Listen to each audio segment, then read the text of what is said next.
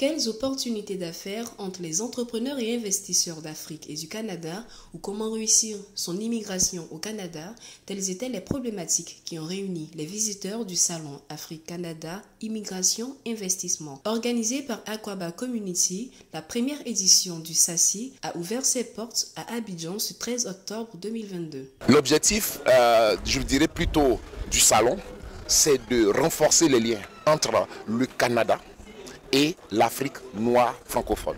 Et pour ça, comme on disait tantôt, on veut mettre sur un même site, dans un même encadre comme aujourd'hui, tout l'écosystème de ce qui est immigration et de ce qui est investissement. De sorte que quand on sort de sa maison ou bien on sort de son pays, on a l'information réelle et vraie pour pouvoir faire les choses réelles et vraies. Faut dire que ça, c'est une organisation tournante. Elle se veut tournante et sera organisée une fois par an dans une capitale francophone africaine noire.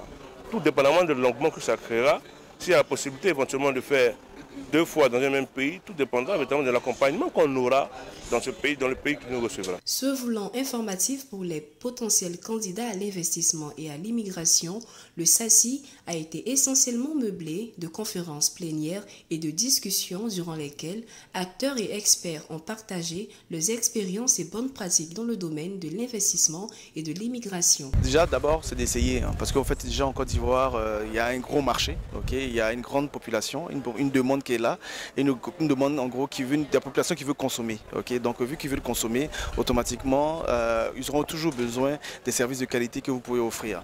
Maintenant, l'objectif maintenant, c'est de comprendre et de connaître euh, la culture ivoirienne, de connaître aussi la culture entrepreneuriale ici en, euh, Côte d'Ivoire. Et donc pour cela, nous, notre entreprise, on, peut servir aussi de courroie, de, quand même de, on peut vous servir de courroie pour vous accompagner, on va dire, pour comprendre, on va dire, le système ici et pour vous accompagner en termes de gestion de projet, on peut vous accompagner aussi en termes de marketing, business plan, etc. etc.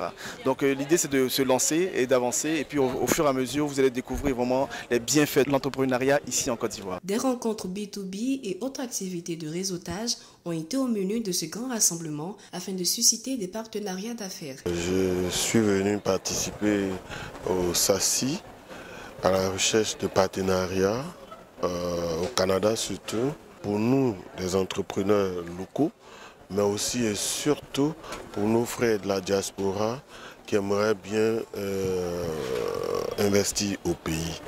C'est l'occasion pour nous